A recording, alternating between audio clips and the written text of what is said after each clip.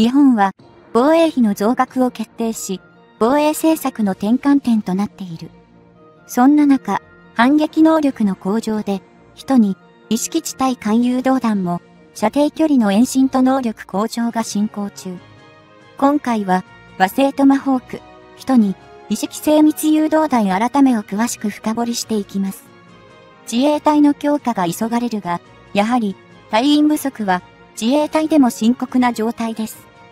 ドローンや AI などの装備が急がれますが、ターミネーターみたいな未来が来ると恐ろしく考えてしまいます。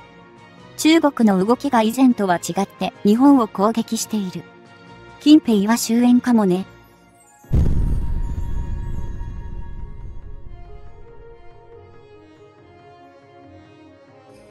2023年8月31日、日本の防衛省は来年度2024年度分の防衛予算の概算要求を公表。これによれば、その額は、およそ7.7兆円と本年度2023年度分のおよそ6.8兆円分から大きく上乗せされ、防衛力の強化期間という政策を反映したものとなった。今年度の2023年度分から2027年度分までの5年間の防衛予算の累計額はこれまでに43兆円に到達する見込みであることが示されており、最終年の2027年度分では、およそ8.9兆円規模まで段階的に増加していく試算がなされている。こうした日本の防衛予算の増額の道筋は、2022年12月に改定後に閣議決定された、いわゆる安全保障関連の3文書の内容に沿って実行に移されているものだが、当然、日本の周囲の仮想敵国の軍備に対抗する必要に迫られての決断だ。未だ、こうした防衛予算の増額に対し、太平洋戦争後の日本では、そうした方向性を、好戦的な現政権が推進しようとしていると、批判の対象とする言説が、多くのメディア等でも散見させる状況であると言えよう。それらの意見は、日本が置かれた地理的な環境の下で、近隣の北朝鮮や中国の軍備の拡張からは目を背け、ひたすら自国の軍備にのみ危険性を叫ぶという従来しかとした構図で、ある意味、日本の言論の自由を証明しているとすら思えるほどだ。しかし、2022年2月から開始されたロシアによるウクライナへの軍事侵攻が、こうした冷戦構造下の日本国内のステレオタイプな机上論に投げかけた波紋は大きく、抑止力としての軍拡を受け入れる方が世論の上でも主流に見える。そんな状況下の日本の2024年度の防衛予算の概算要求であるが、その使途とは、北朝鮮や中国が配備を進める中、長距離兵器への抑止を念頭に、ミサイル防衛用の多様策の拡充と、反撃能力の取得に重点が置かれている。ミサイル防衛用の多様策の拡充としては、イージス・アショアの代替となるイージスシステム搭載艦の2隻の心臓を中心におよそ1.3兆円弱が計上されており、この分野が今の日本の防衛の喫緊の課題であることを示している。そして、反撃能力の取得だが、かつては敵基地攻撃能力と呼称され、自衛隊がそれらの装備品を保有することは、専守防衛の理念に反するとの一部からの批判にさらされつつも、今後の抑止力の用として必要であるとの認識が向上した感も強い。反撃能力を示すための並走として、開発と配備の強化が打ち出されているのが、スタンドオフミサイルと日本政府が故障しているもので、これは仮想敵国の防空兵器の射程距離外から攻撃を可能とする長距離打撃兵器の総称だ。そして、今回の2024年度の防衛予算の概算要求の中では、このスタンドオフミサイルの一種として、従来までになかった新地対艦、地対地精密誘導弾の開発という項目が記載され、320億円の予算が計上されている。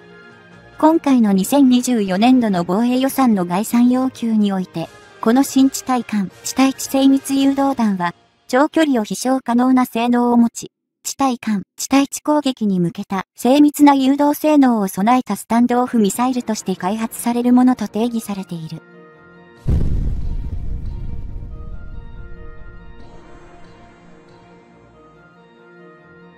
その上で、この新地対艦、地対地精密誘導弾は、すでに開発と量産化が同時並行で進められている人に、意識地対艦誘導弾の能力向上型の自発型で使用される地上装置を活用することが明記されており、開発の効率化も示唆されているように感じられる。今回の2024年度の防衛予算の概算要求で登場したこの新地対艦、地対地精密誘導弾だが、昨年2023年度の防衛予算の概算要求の時点では、当初防衛用新対艦誘導弾について、要素技術の研究を行うという、技術が資料上に記載されていた。この当初防衛用新対艦誘導弾について、要素技術の研究という記述が消え、今回から新地対艦、地対地精密誘導弾の開発という項目が示されたことからも、前者の研究が後者の開発として具体化され、名称が変更されたという解釈が大勢を占めている。人に、意識地対艦誘導弾は、その長さし示す通り、2012年度から陸上自衛隊が調達を開始した対艦攻撃用途を主とする誘導弾を装輪式の車両に搭載して運用される地対艦ミサイルシステムで、三菱重工業者が生産を担っている。オリジナルの人に、意識地対艦誘導弾は、亜音速で飛翔する誘導弾を発射する兵器システムで、その最大有効射程距離は、およそ 200km 程度と決して長くはないため、現状では、南西諸島の島々に分散して複数箇所に配備する形をとっている。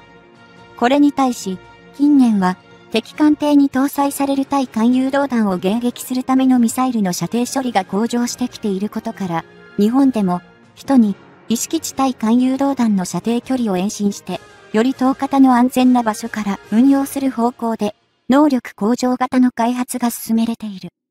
人に、意識地対艦誘導弾の能力向上型は、その有効射程距離を第一段階としてまず、およそ 900km 程度まで延伸し、続いて、最終的には、およそ同 1500km 程度まで延伸することが見込まれており、飛躍的な運用範囲の拡大が期待されている状況だ。かつ、そうした射程距離の飛躍的な延伸に加えて、人に意識地対艦誘導弾の能力向上型では、ベースである陸上配備の自発型以外にも、航空機に搭載する空発型、艦艇に搭載する艦発型といった発射母機の多層化も行うとされている。オリジナルの人に意識地対艦誘導弾、そしてその改良版である能力向上型ともに対艦攻撃を主要ととしながらも GPS を使用した誘導を行うことが可能で、限定的な対地攻撃用途にも対応しており、従来の自衛隊の兵装よりは運用の幅が広がってはいる。これはアメリカ製のトマホーク巡航ミサイル等でも同様であり、こうした兵装を批判する勢力からは、今の日本政府が反撃能力と言い換えた、かつては敵基地攻撃能力と呼ばれた攻撃的な兵器だとして攻撃対象になっている。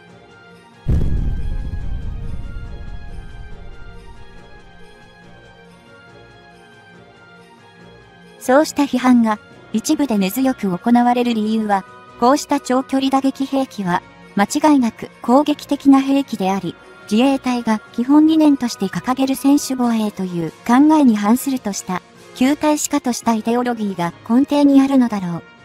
だが、今のロシア・ウクライナ戦争の推移を見ても明らかなように、航空機や自爆型の無人航空機による無差別な空爆を阻止するには、対症療法としての対空迎撃兵器は当然としても、元を立つなら、削減地攻撃の並走が必須であることは自明である。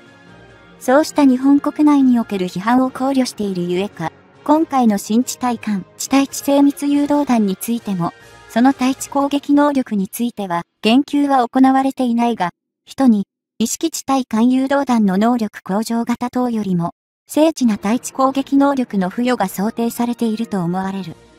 これは、人に、意識地対艦誘導弾の能力向上型等の対地攻撃時の誘導方式が、簡易な GPS を使用したものであることに比して、新地対艦、地対地精密誘導弾では、より精度の高い赤外線誘導等を実装するのではないかと個人的には感じている。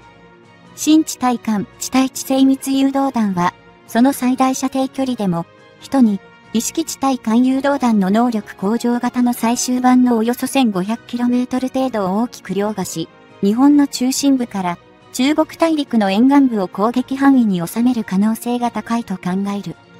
これによって、中国沿岸部の航空基地や地上のミサイル施設を直接攻撃することが、物理的にも制度的にも可能となり、本来的な意味で、中国の海戦糸をくじく強力な抑止力となるのではないかと期待している。ただし、新地対艦地対地精密誘導弾に関しても、その誘導弾本体の飛翔速度は、人に意識地対艦誘導弾の能力向上型等と同様に、亜音速である可能性が高く、中国側の防空網を考慮すれば、飽和攻撃が可能な数を揃える必要が必須にはなろう。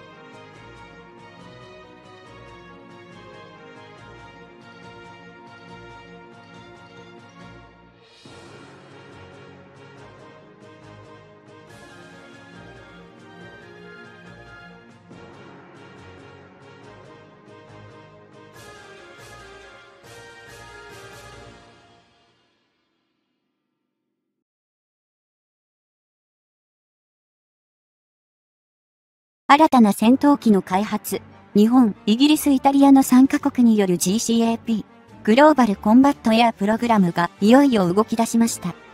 アメリカのロッキード・マーティン社との共同開発が固い止めされていた点を覆し、大気な変化を見せた日本。今回は、日本の IHI 社とイギリスのロールス・ロイス社による機関部の開発について詳しく見てみましょう。IHI 社の高い技術力で国産の機関部の完成に期待。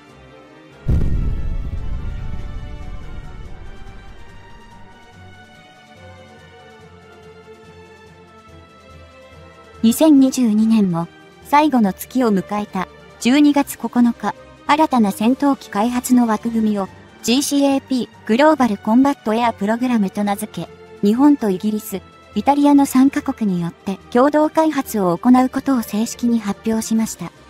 日本とイギリスでは、2021年の末には、次期戦闘機のジェットエンジンの実証実験を行うことが決まっており、2022年の初めより、日本の IHI 社とイギリスのロールスロイス社において実証実験を指導、2022年2月には、次期戦闘機用のレーダーセンサー類の実証実験機の共同研究も決定していました。したがって、今回の日本とイギリス、イタリアの3カ国による GCAP グローバルコンバットエアプログラムの指導は、これまでの流れを公式に各国政府が認めて満を持してのプレス発表と言っていいでしょう。この GCAP グローバルコンバットエアプログラムで開発される戦闘機は、航空自衛隊が運用している F2 戦闘機とイギリス空軍とイタリア空軍が運用しているユーロファイタータイフーンの後継として採用されます。この2年ほどで急速に強化された日本とイギリスの間での次期戦闘機をめぐる協力関係ですが、これまでのアメリカのロッキード・マーティン社が、開発技術のサポートという形で関わるのが当然だという動きに区切りをつけた形となりました。太平洋戦争での敗北後、自衛隊が装備する戦闘機などの軍備につながる産業分野において、アメリカ製の機体を製作に応じて、日本の企業が調達するといった形で制御され、航空機の開発技術も大きく後退することになりました。今回の次期戦闘機開発は、現在、航空自衛隊が保有している F2 戦闘機の後継機が目的で、そもそも F2 戦闘機開発の段階では、国産機を開発する計画でしたが、当時、エンジン部の製造が技術的に困難で、三菱重工業者を主としながらも、アメリカとの共同開発となり、F2 開発当時は日米貿易摩擦が影響し、日本とアメリカ間において、政治的な問題から、アメリカの F16 ファイティングファルコンをベースとすることが求められ、国産化が果たせませんでした。その F16 戦闘機ファイティングファルコンの各部において、胴体を延長し、主力の大型化など、機体の大型化が行われたほか、日本の最新電子技術も盛り込まれ、大掛かりな変更が加えられ、必要な追艦攻撃能力が強化されました。ところが、完成した F2 戦闘機の機体の中核である制御部分の情報が日本に公開されなかったため、後の状況の変化による日本での自由な仕様変更を行うことはできませんでした。そこで F2 戦闘機開発の経験をもとに、その後継機開発に際しては、日本の三菱重工業者を主契約企業として、その下に国内の各分野の関連企業を決め、日本が開発の主導権を有することを前提として進めてきたのです。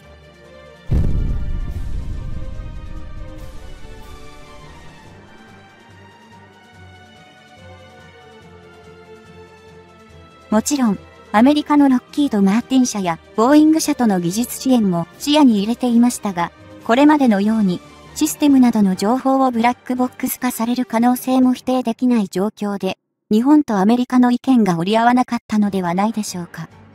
そこで、次期戦闘機開発において、戦後初めて、アメリカ以外の国、イギリスとイタリアに日本を含んだ3カ国で協力し開発、配備が決定し、これまでのアメリカとの関係とは違い、対等な関係での開発になると期待されています。さて、今回の GCAP グローバルコンバットエアープログラムの開発にあたっては、日本では三菱重工業者が主契約者となり機体を担当し、IHI 社が機関部を、三菱電機社が電子機器を担当することが決まっています。そして、イギリスからは、BA システムズ社が全体の統括と機体を、ロールス・ロイス社が機関部を、レーザー、センサ部の電子機器等をレオナルド社が担当し、チームテンペスト計画そのままでもあります。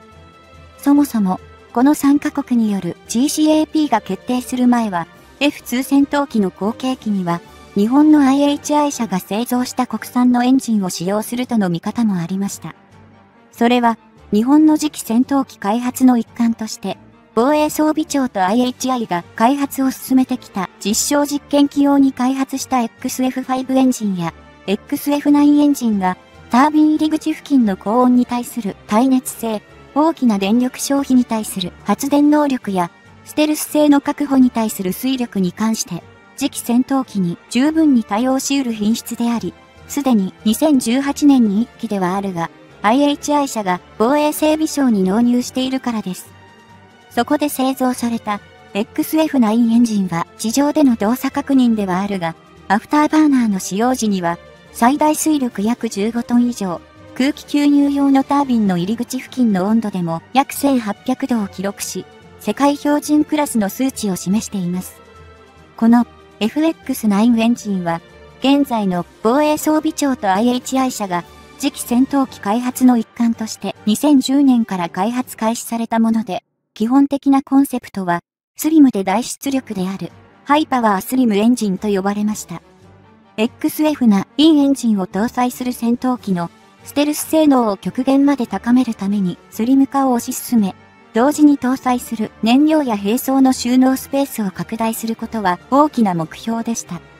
そして、近年では、戦闘機による空対空戦闘は減少しているとは言っても、今回の FX9 の大出力は、戦闘機としての高機動性を保持するために不可欠な条件であり、敵のミサイル等による攻撃の回避にとても重要です。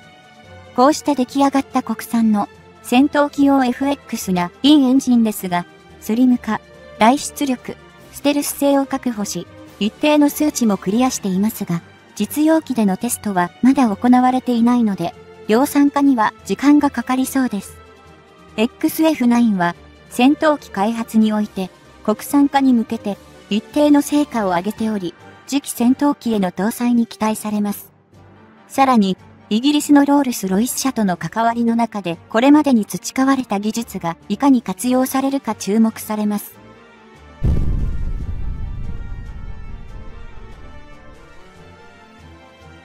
イギリスのロールス・ロイス社といえば、イギリスやイタリアが採用している現行のユーロファイタータイフーンの機関部の開発も主導しており、世界的なエンジンサプライヤーです。そのイギリスのロールス・ロイス社ですが、テンペスト計画における機関部の開発には難航していると伝えられており、戦闘機の機関部の開発がいかに難しいか考えさせられます。ロールス・ロイス社が開発する機関部は、著しく電力を消費することに対して、スモールコア電力、熱制御、すなわちコアは小さく、電力は大きく、発生する熱を制御することに取り組んでいます。しかし、そんなロールス・ロイス社の技術力は、アメリカには劣るとはいえ、日本の XF9 エンジン技術よりははるかに高く、これからの戦闘機に求められる発電能力と冷却性能の分野で先行していることから、やはり開発の主導権を握るのではないでしょうか。そして IHI 社製の FX9 エンジンですが、小スペース、将来の戦闘機に対応できる発電容量も実現していますが、まだ発電能力と冷却性能の分野では譲るところもあり、今後、これまでの開発を活かし、実用機での採用を期待したいですね。IHI 社は2007年7月に社名を変更しましたが、それまでは石川島播磨重工業株式会社として、江戸末期から160年を超える歴史があり、日本の三大重工業の一角を支えている代表する企業です。航空、宇宙事業、エネルギープラント事業を手掛けており、日本初のターボジェットエンジンを開発するなど、航空機の分野において、ジェットエンジンの製造では、日本国内で60%のシェアを誇っています。IHI 社がライセンス生産したものには、現在、航空自衛隊が運用している F2 戦闘機に搭載しているゼネラルエレクトリック社の F10 エンジンや F15J イーグル戦闘機が搭載しているプラットホイットニー社製の F100 エンジンがあります。また、海上自衛隊が2013年から運用を開始している P1 哨戒機に搭載されている F7 エンジンは IHI 社によって開発され、少年費、低層音が特徴で実用化、量産化されています。このエンジンはターボファン形式の高バイパスエンジンとして民生品にも応用が模索されています。海上自衛隊が運用しているヘリコプター搭載型護衛艦のいずも型やミサイル護衛艦のまや型の建造を手掛けたジャパンマリンユナイテッド株式会社はユニバーサル造船と IHI マリンユナイテッドが合併して誕生しており、もともとは IHI 社の造船部門から派生した企業であり IHI 社の技術力の高さが伺えますね。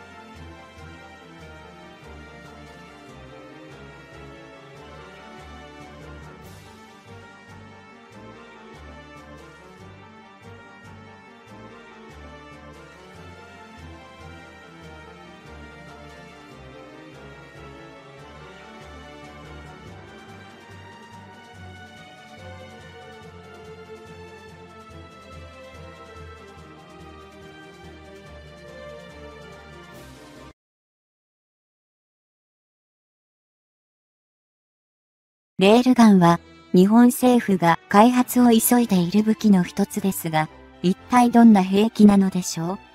今回は、レールガン開発がどこまで進んでいるのかが主題です。日本では発電力もかなり向上し、総合的なレールガン稼働システムが構築できる技術が生まれています。一度開発し、トライアンドエラーで小型化、人が使うまでできればいいけどな。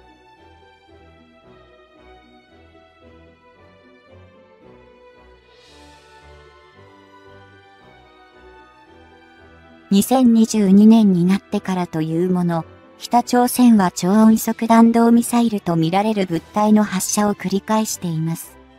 食料援助を訴えていたこともあったのに、軍事費は潤沢なようですね。この飛翔体への対抗手段となるべく、レールガンの研究開発費が2022年度防衛予算に計上されました。実は、1月12日に BS 日テレで真相ニュースという番組が放送されたのですが、その中で話題とされたのです。番組の中では、小野寺御殿元防衛省と大原盆司笹川平和財団上席研究員の対談が行われ、レールガンの実力と可能性、そして今後の課題などが話題になりました。改めてレールガンについて説明します。電磁砲とも呼ばれ、次世代兵器とみなされる兵器ですが、火薬を使わずに、2本の通電性の高いレールに高電力を流し、磁場を発生させることによってレールに乗せた弾体を射出する仕組みです。このレールガンは試作段階で 200km 以上の長距離射撃が可能で、理論上は火薬で発射する銃砲や燃料を燃焼させて飛翔するミサイルと比べると経費もかからず、しかも連射可能とみられるので、飽和的ミサイル攻撃へも対処できるのではと期待される兵器と考えられています。花火がわかりやすい例ですが、雨が降ったら火薬は使えませんから、火薬を使わずに発射できるというのは確かに効率的でしょうね。防衛省がこれまでに試作したレールガンでの発射試験結果によると、発射初速は2300メートル毎秒、およそマッハ6が観測されたということです。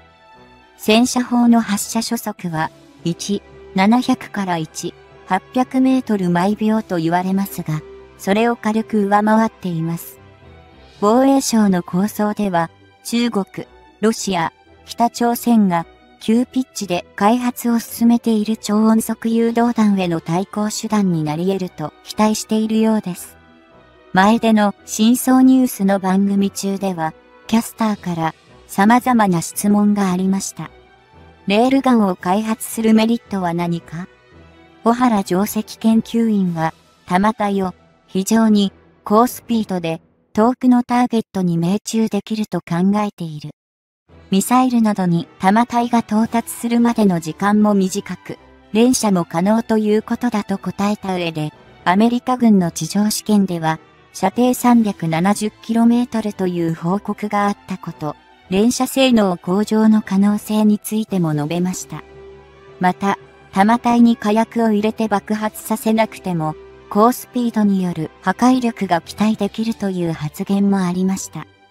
強力な磁場を発生させるための装置は必要か？という質問に対しては、先行国アメリカが10年間開発を続けてうまくいかなかった理由として、高電力を出せる電源装置開発が難しかった。特に水上艦艇に艦載できるコンパクトな電源装置開発が難しかったためではないかと指摘しました。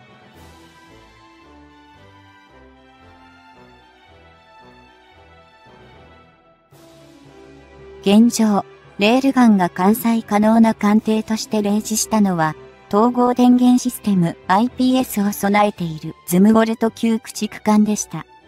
IPS は大きな電力を必要な箇所に集中的に配電できるシステムで、レールガンの発射は可能と思われます。高電力が必要なため、他の電子装置が使用不可能になってしまうので、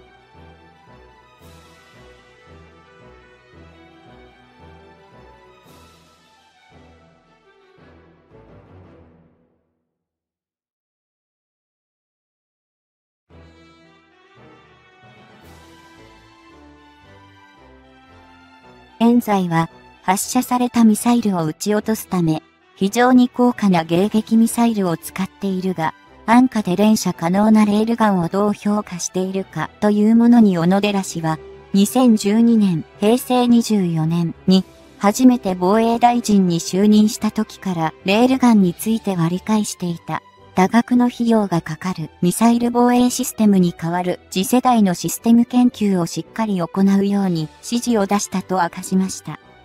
2017年、平成29年、防衛省に再任した時は、レールガンの試作機が製作過程だったが、かなりの高スペックを持っていることは感じていた。そして、自分は自民党内の防衛対抗を議論するワーキングチーム座長という立場もあって、レールガンの性能向上のための予算計上も応援している、小原研究員と同じく、日本が持つ先端的電気関連システム研究に大きな期待を寄せている、陸上配備で対応可能と思われるが、選手防衛の観点からすれば飛来するミサイルを撃ち落とすには航空機へ搭載することも視野に入れつつ、レールガンは日本にとって必要な装備であると考えているという認識を示しました。また、番組内では、レールガンの課題とゲームチェンジャーとしての可能性、大きな電力を供給する電力源の確保、変則的に起動すると推測される。極、超音速誘導弾迎撃に本当に有効なのかといった多くの疑問が投げかけられました。今後巨額に膨らんでゆくと思われる研究開発費などについても、当然、遠慮なく、漁師に鋭い質問が響きました。研究員も実用化についての一番大きな問題が電源問題と認識しているようです。常に電源を確保できる状態でなければ、蓄電池などの装備が必要になります。その場合、放電後の蓄電に時間がかかるので、連射はできないと指摘しました。とはいえ、電源システムや蓄電池技術に関しては、日本は世界でもトップクラスなので、将来的にレールガンをアメリカと共同開発する話が持ち上がったとしたら、電源システムで日本の優位性をフルに活用すべきとのことでした。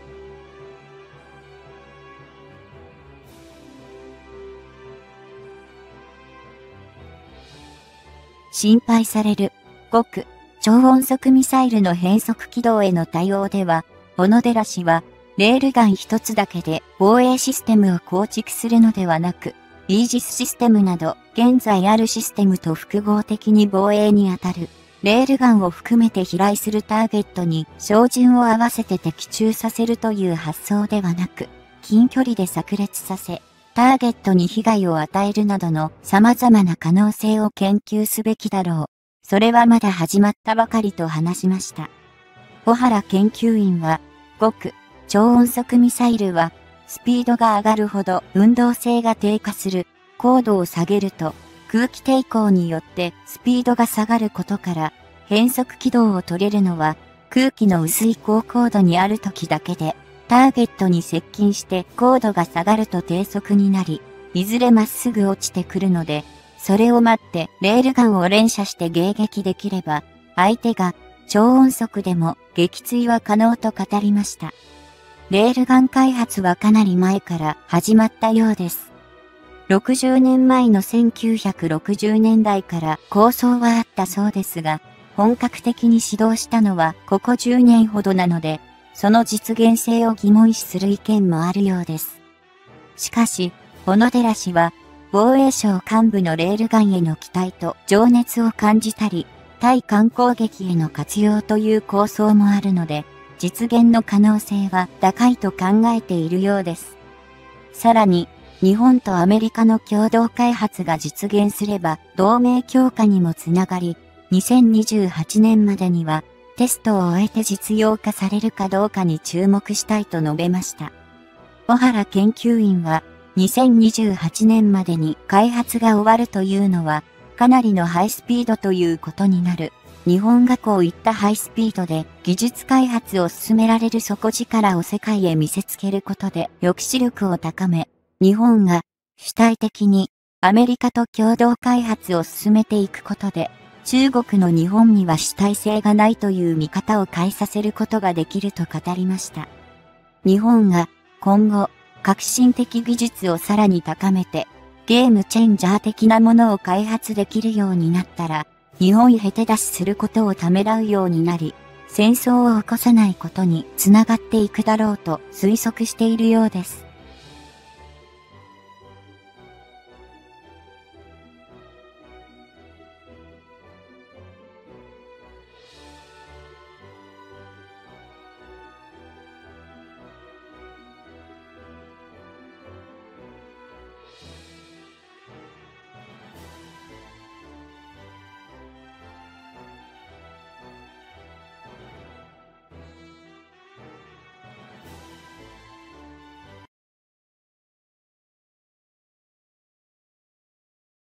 台湾国産潜水艦建造計画の一つの区切りとして、ようやく浸水式を迎えるとの情報をキャッチしました。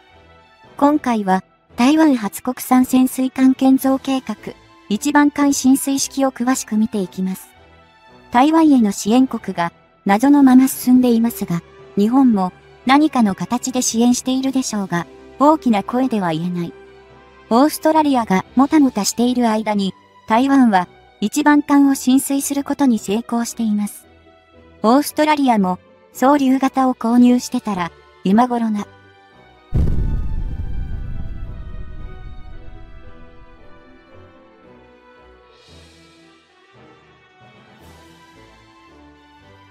老朽化した潜水艦を更新するため、台湾は2020年11月に国産潜水艦の建造を開始しました。台湾メディアの報道では、9月28日に高尾で一番艦の浸水式と命名式が行われる予定で、政府高官や各界の代表者も出席する予定ということです。台湾海軍の潜水艦戦力を紹介しましょう。1980年代に、オランダのズバールトフィス級潜水艦を土台として作られた海流級潜水艦2300トンが2隻、第2次世界大戦中にアメリカで建造された天地級潜水艦2420トン2隻の合計4隻です。耐用年数切れというか、あまりにも時代遅れですよね。台湾としては、次の潜水艦を熱望していたはずです。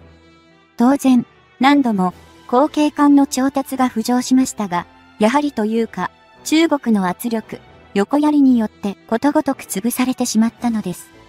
この状況に変化が生じたのは2018年でした。当時のアメリカのトランプ政権が潜水艦建造に必要な技術や部品の台湾への売却を承認したのです。中国嫌いのトランプ政権が台湾に肩入れするのは当然といえば当然ですよね。敵の敵は味方というわけでしょう。アメリカの動きに歩調を合わせたかのように、イギリスも1.67億ポンド相当の潜水艦関連の技術と部品の輸出を承認しました。ところが、実際に台湾で潜水艦建造を支援している国は不明でした。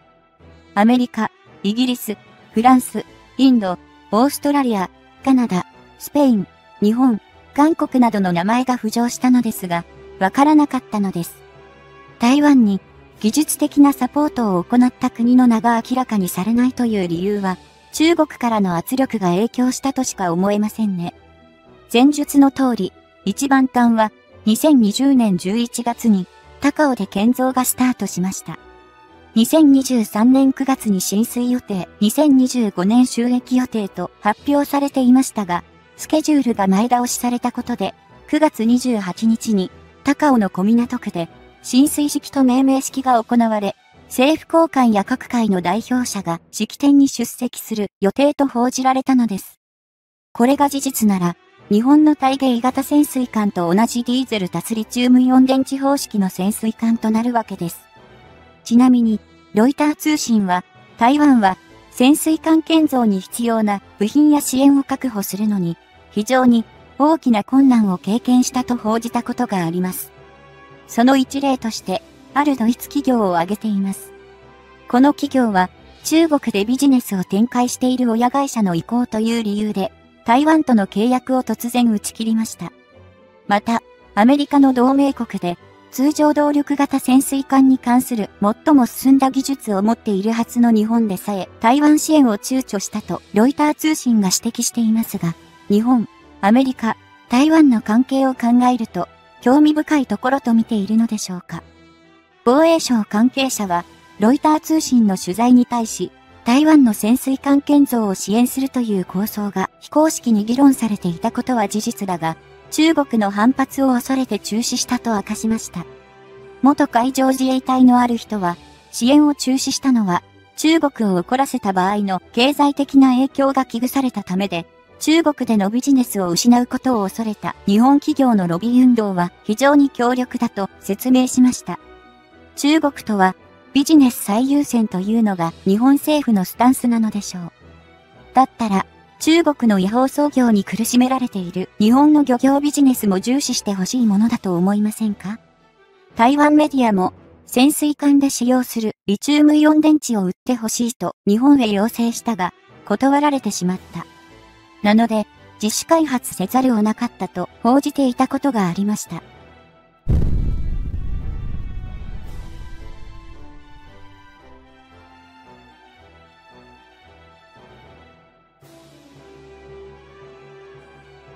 また、トルコから大魚雷で濃いおとりを調達予定だったのですが、果たして台湾が購入できたのか、まだわかりません。トルコは、バランス外交が上手ですからね。中国も台湾も、顔を潰さずに交渉できたと考えます。他国の兵器購入に、中国がいちいち文句を言う筋合いはないと思うのですが、台湾となると別問題なのでしょう。歴史的なねじれた深いつながりがありますから。自国領であるはずの台湾が勝手に軍備を拡張することに神経を尖らせるのは当然といえば当然ですが、台湾の潜水艦ですが、大きさ的には日本の渦潮型潜水艦くらいです。日本の場合は領海が広いという事情があって、通常動力型潜水艦は他国に比べて大型化していることを考えると、近海での運用がメインになると思われる台湾としては、順当なサイズだと考えられます。国防に関わる機密ですから、詳細な情報がほとんど出回っていません。運用が始まったら、概要だけでも情報が流れてきてほしいと思います。と言っても、浸水式は今月ですが、引き渡しが行われるのは2025年ですね。本当ならすぐにでも配備したいところでしょうが、なんとも悩ましいでしょうね。結局、どの国が台湾へ潜水艦建造の支援を行ったかは不明のままになりそうです。リチウムイオン電池の実施開発を行ったということですが、この短期間で独力で完成させることができるものでしょうか？本当にリチウムイオン電池を潜水艦に搭載していたとして安定して動かせるならどうにかしてこっそり日本が開発に絡んでいたと考えるのが妥当と思えますが政府がそんな器用な真似はできないでしょう。そうした綱渡りができるぐらいの度胸があればむしろ嬉しいんですけど台湾の国情に合わせた潜水艦の設計ができるところは限られますし、フランスあたりかなと推理しているんですが、ドイツが対中政策のせいで契約を打ち切ったという企業名は謎という話ですが、潜水艦に限ってなら、かなり重要なエンジンしか協力した可能性がないと思われるのです。今の西側の通常動力潜水艦エンジンだと、MTU、ドイツにあるロールス・ロイス社の子会社か、川崎重工業ぐらいの選択肢しかないはずです。となると、MTU が影で手を引いていたのか、過去に潜水艦の実績がある MAN ドイツの自動車会社という手もあるのですが、この企業という可能性は低そうです。リチウムイオンに関して言えば、台湾にもそれなりの企業はあります。オーストラリアでの建造があったなら、管理が面倒な GS ユアサのバッテリーより、商用で実績がある東芝の支部が搭載されるのではという話もあったので、万が一の安全性を担保できるなら、信頼性の高い商用バッテリーを潜水艦に搭載しても問題はないはずですが、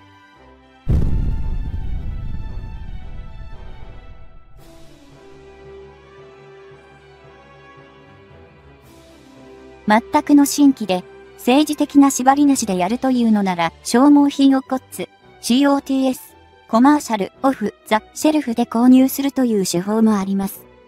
コッツというのは、既製品で販売やリースできるソフトウェア製品や、ハードウェア製品、または一般向けにライセンス提供されるものを採用することです。新しく作るのではなく、今あるものを利用するわけですから、経費も安くできるはずですね。艦の大きさについてはまだ未公表のようですね。以前、台湾軍現役の海流型水中排水量2660トンに近いか、それよりもっと小さくなる見込みと報道されていました。それにしても、潜水艦の建造スピードは随分速いと思います。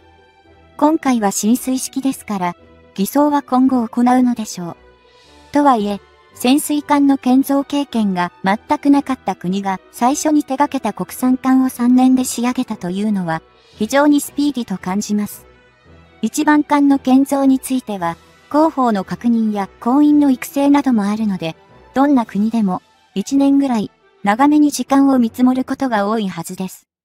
にもかかわらず、この短期間で海に浮かぶところまでよく持っていったなぁと感心します。相当急いで作ったか、建造に関する労役投入のノウハウを支援者からしっかりと叩き込まれたという感じでしょうか。例えばの話、最近の日本の潜水艦ですと、建造スタートから浸水まで2年、そこから偽装して引き渡しまで2年、それに配備まで1年とみなして、実質5年で戦力化というスピード調達をしているので、心当たりを意識したと考えれば、台湾のこのスピードは納得できます。実は、日本の場合、毎年、必ず、一隻の発注が来ることになっています。これは、世界的にもあまりない状況ですが、このルーティンを若干の無理をしてでも維持しているからこそ、こういったスピード建造ができているのです。しかし、台湾はどうなっているんでしょうね。この潜水艦に関しては、韓国の大油造船の系列会社が起こした産業スパイ事件や韓国顧問団の費用請求問題、台湾側メーカー担当者の逮捕など色々ありました。逆に言えば、それだけ韓国産業界の関与が深かったということになるでしょうね。韓国も日本に負けないように、潜水関連一貫建造を行っている国ですから、その辺のノウハウが台湾に投入されているのかと推測されます。台湾の潜水艦の中身やスペックが公開されることは当分ないと思われますが、外観だけでも見えるようになるのが楽しみですね。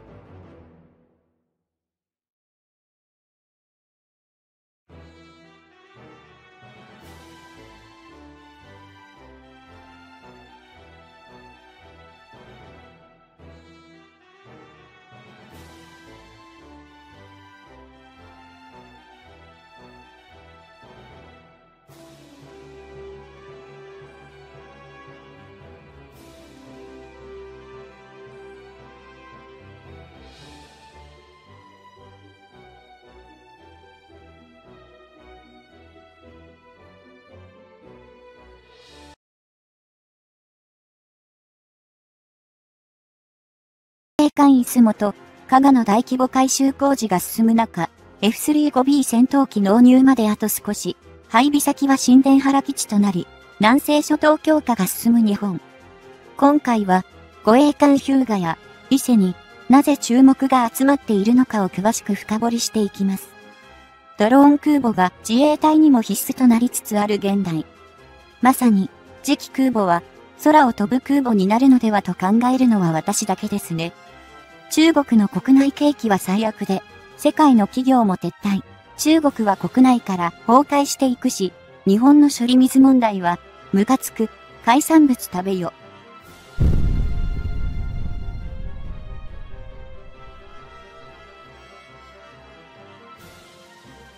海上自衛隊は、初の航空母艦の建造を計画し、2000年代にヘリ空母のヒューガ型が登場した後、より大型の出雲、加賀というヘリ空母を浸水させた。これらの艦船は海上自衛隊の顔となり、固定翼機を運用する能力を持つ空母として、自衛隊の歴史に名を刻んだ。空母の改造は、航空機との連携能力を向上させ、海自の対戦勝海能力を大幅に強化した。出雲型ヘリコプター搭載護衛艦は海上自衛隊最大の艦船であり、F35 ライトニング IIB 型を運用ができる。出雲型護衛艦の最大排水量は26,000トン、11万2000馬力、速力は30ノットを超えるほか、SH-60 キロ回転翼機9機と MCH-101 回転翼機2機を搭載することも可能だ。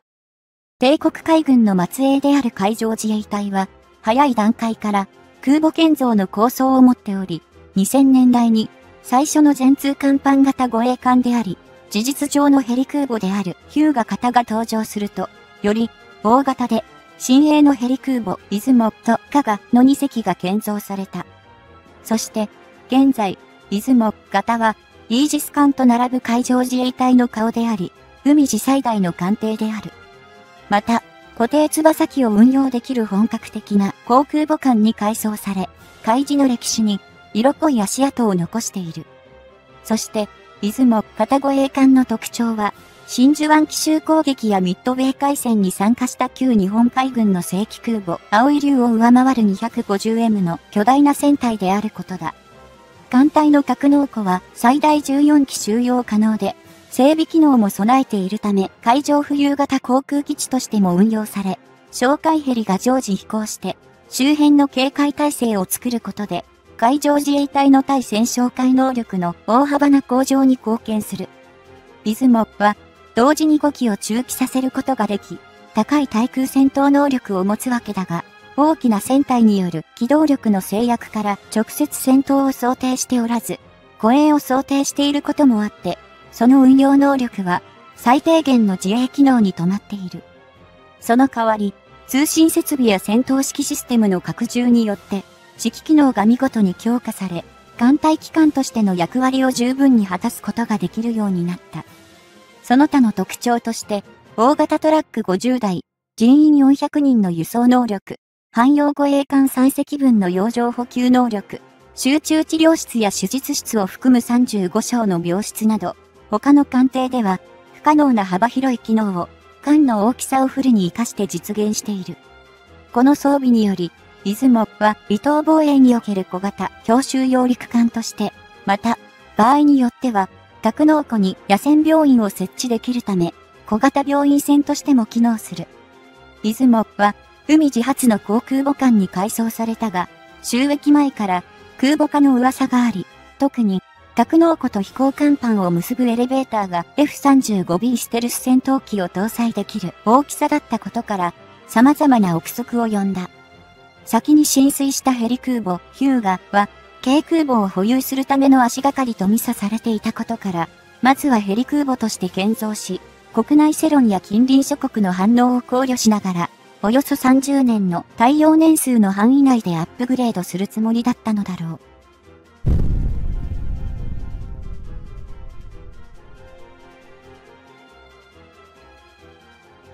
しかし、中国海軍の急速な軍事強化が目立ち、空母改造は当初の予定よりもかなり早く実施され、出雲の収益からわずか3年後の2018年、F35B 搭載のためのアップグレードが決定された。そして、正式に空母となった後、出雲は、主に、次の4つの改造を受けた。1、F35B 戦闘機が発する熱を考慮して、甲板の耐熱性を、強化に、夜間着艦に必要な誘導灯の設置3、台形の選手を長方形へと変更4、空母の運用に適したレイアウトにするため、艦内区画を変更。このように、漫画空母息吹に登場するジャンプデッキは、ソナーのある艦首の重量が増すと、全体のバランスに影響するため、空母火事には設置されなかった。米空母クイーンエリザベスでは、航空機の離陸を補助するためにジャンプデッキが使用されているが、その大きさが邪魔をして中期スペースが狭くなっている。米海軍のアメリカ級強襲揚陸艦が出雲とほぼ同じ全長で艦首が長方形でジャンプ台は採用していないが、同じ F35B を搭載していることを考えると、海上自衛隊は、同盟国であるアメリカから空母戦闘技術を学び、同国の揚陸艦を参考にしていると推測できる。伊豆、モノ空母化の改修は、2025年までに完了する予定で、関西機 F35B は、2024年から宮崎県の新田原基地に配備され、合計42機が調達される。F35B の搭載機数については、単独では最大15機まで搭載可能だが、戦闘機以外にも哨戒ヘリなどを搭載する必要があり、実際には任務に応じて各艦の搭載機数は増減する。また、水平線の関係で水上艦のレーダーでは、遠型の艦船を探知することが難しいため、早期警戒機 AEW の支援が必要となる。そのため、米海軍の原子力空母には、固定翼の E2 警戒機が、イギリスのクイーンエリザベスには早期警戒ヘリコプターが搭載されている。しかし、出雲には AEW について言及されていないため、正確な役割は不明だが、次の3つの可能性が考えられる。1、陸上基地から運用される航空自衛隊の早期警戒管制機 AWACS に頼るに、英国空母に搭載されているような早期警戒ヘリコプターを、導入3、V22 オスプレイの早期警戒型である EV-22 の導入。ちなみに、空母、ビブキは関西型 AEW を使用していないようで、先ほどの位置で述べたように航空自衛隊に依存しているようだが、現代戦の勝敗を分ける上長な早期警戒能力を提供するためには、やはり独自の AEW が必要不可欠である。残りの選択肢として、V22 オスプレイは、出雲で問題なく運用できるが、肝心の EV-22 は開発すら始まっていないため、現時点では2番目の早期警戒ヘリコプターが最も現実的な選択肢となる。